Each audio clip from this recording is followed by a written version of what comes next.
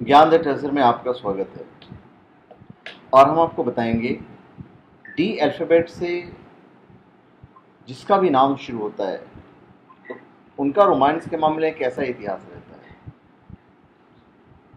देखिए, नाम के पहले अक्षर से आप ये जान सकते हैं मतलब उसकी मदद से, अपने बारे में भी और अपने वैलेंटाइन के बारे में भी, कि आप रोमांस के मामले में कैसे होंगे। आप अपने मोहब्बत के बारे में अनुमान भी लगा सकते हैं। तो जिस किसी भी जातक का पहला अक्षर डी अल्फ़ाबेट से शुरू होता है इंग्लिश के डी अल्फ़ाबेट से तो उनके बारे में हम आपको बता रहे हैं।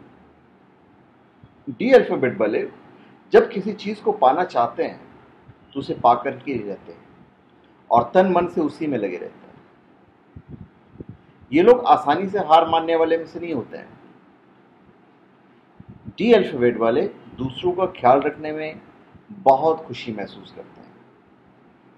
किसी समस्या को अपनी समस्या मानकर उसे हल करने में जुट जाते हैं। उनको लगता है, यार, मेरा प्रॉब्लम है। आपके प्रॉब्लम को अपना प्रॉब्लम समझते हैं।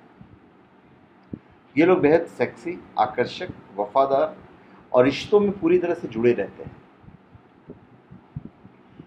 इन लोग को हमेशा कुछ हटकर पसंद आता है। कुछ डिफरेंट होना चाहिए। और कभी कभी ये लोग बेहद ईर्ष्यालु और स्वार्थी हो जाते हैं। इनको खुले दिल के जो लोग हैं, वो बहुत पसंद आते हैं, क्योंकि ये लोग खुद भी खुले दिल के होते हैं। तो ये है डी अल्फ़ाबेट का characterisation in the sense of romance तो धन्यवाद। आप हमारे चैनल पे सब्सक्राइब करें और अपने कमेंट दीजिए। धन्यवाद।